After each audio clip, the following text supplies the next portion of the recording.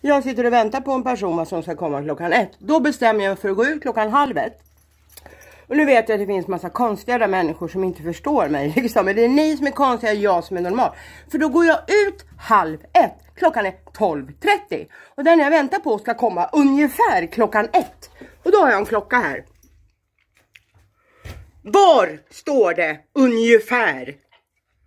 Var är ungefär? Vad är ungefär klockan ett? Det är ju det jag undrar va? Va? Jag menar.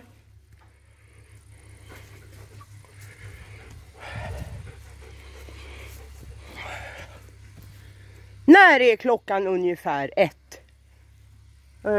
Himla tur att du inte sa exakt klockan ett för då hade jag blivit förgrymmad nu. Varför liksom, jag menar säger man ett klockslag så är det ju då liksom. Det är inget annat klockslag. Konstiga människor någon grävning. Jag ska stänga in dem i jordkällan. Ska jag göra allihopa som är konstiga. För jag är fullständigt normal.